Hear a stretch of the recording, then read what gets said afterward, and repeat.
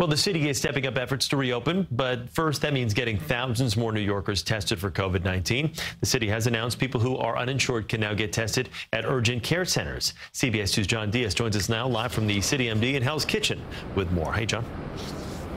Hey, good morning to you too, Chris. Well, by partnering up with CityMD, the city announcing that they have now tripled the number of testing sites available citywide. And New York City alone is doing half of the testing done across the state. A doctor in head to toe personal protection equipment was invited by Governor Andrew Cuomo to get very close during Sunday's televised briefing. Close your eyes. With his eyes shut, the governor calmly submitted to a coronavirus nasal swab test. That's it? Yeah. That's it. Nothing else. That is the whole test.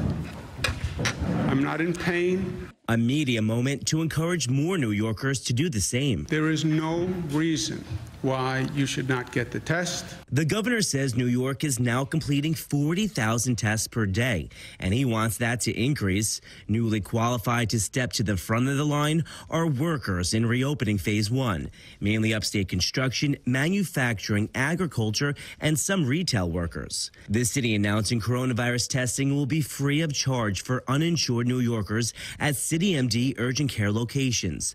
There are 123 of them in the area. In Midtown out of work office manager Diana Chavaron is not experiencing any symptoms, but was convinced to get both the nasal swab and the antibody tests. They recommended that is better because then you know if everything's fine, you know. So I just want to make sure.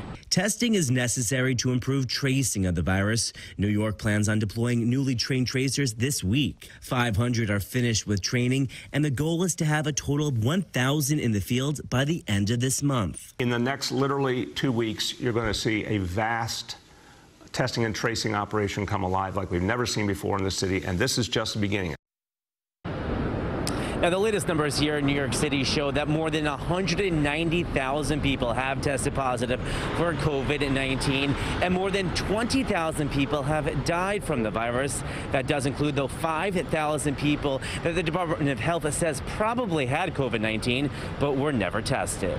We're live this morning in Hell's Kitchen. John Dias, CBS 2 News. Okay, John, thanks.